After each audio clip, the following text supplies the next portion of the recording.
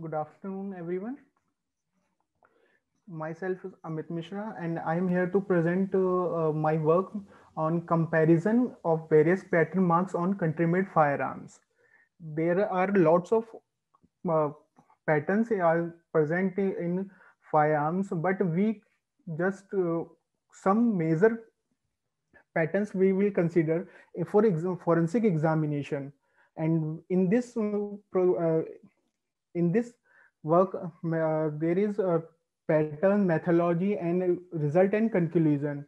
So move on to our first slide, type of marks. First mark is breech marks. When a cartridge is fired, the explosion forces the bullet down the barrel and the shell casing, uh, chasing in force back against the breech. That there is a photograph, uh, the full mechanism is presented. When a bullet is fired, it pulls back uh, due to some recoiling. So, and you uh, can make connection with the phase of the firing, breech of the firing pin. Now, firing pin marks. To accomplish a firing, the firing pin strike the center ring of the cartridge.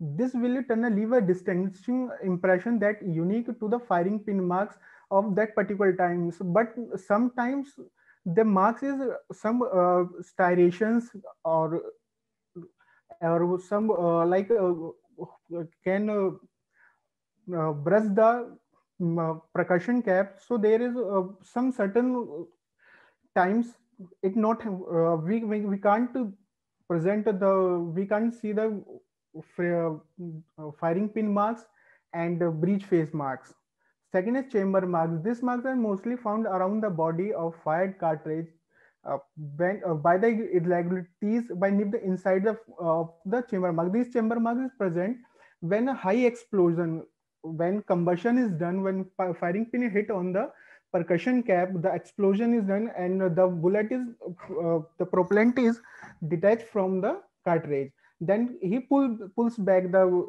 striation on present uh, on the chamber. Sometimes there, uh, in, in, in next slide, I um, uh, I'm talking, uh, I'm just about extractor marks. In these marks, these are the also some types of uh, chamber marks. Sometimes uh, the ejector pins can uh, uh, make these marks like spiral, heavy ramp, bowling, right trembling, curved, and drift flow chamber marks. And sometimes it cracks uh, make some deep indentation marks.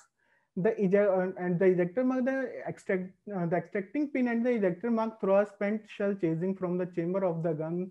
These leaves marks on the shell casing that are unique to the those parts of the particular firearm.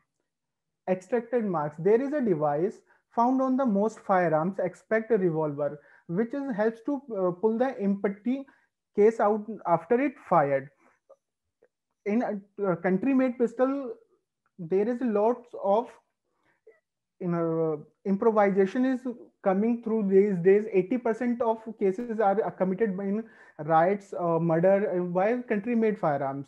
So there is lots of improvisation. Nowadays we uh, they, uh, the offender or the accused uh, start copying the standard ones. Now there are some marks like uh, muzzle lip marks are also present and ejector marks, eject, uh, uh, ejector pin and extractor marks are also present in the striation, in the form of striation. And these are the methodology, uh, methodology to accomplish the, if, if a forensic examiner got a weapon, he needs to be at least two fire from the same firearm and compare the marks under the microscope at 100x.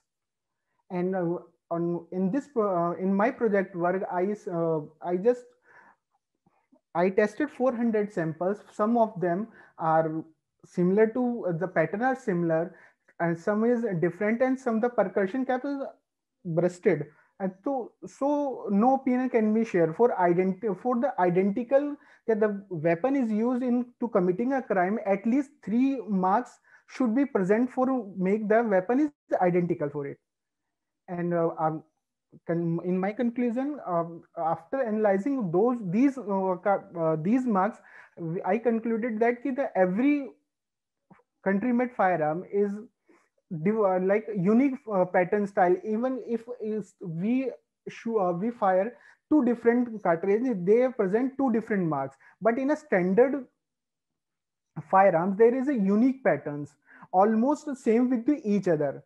Sometimes it uh, can be changed sometime it can be not in uh, country made firearm so this is from my side